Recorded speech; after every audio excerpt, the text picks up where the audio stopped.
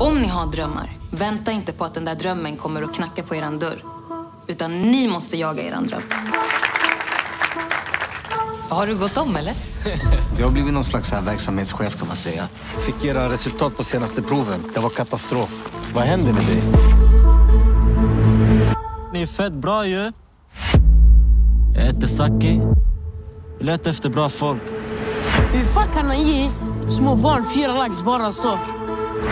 Bror, bebisen de har tagit alla våra grejer, vårt stash över hela stan. Vem ligger bakom det? Okej kompis, det spelar sig senare.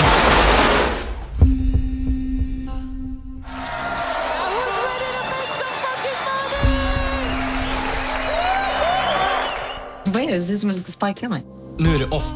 Jag ska hitta mitt centrum. Nu är det på hold. Thomas som har roundtrippat. Jag har inte haft någonting med den här skiten att göra. Han har smutsat ner hela mitt jävla bolag. Är det något du kan hjälpa mig med? Jag vill att du ska vara mellanhand under en affärsuppgörelse. If something goes wrong, it's on you. Det är en stor last, du vet själv. Du är alltid i knas. Konstant du leker med elden.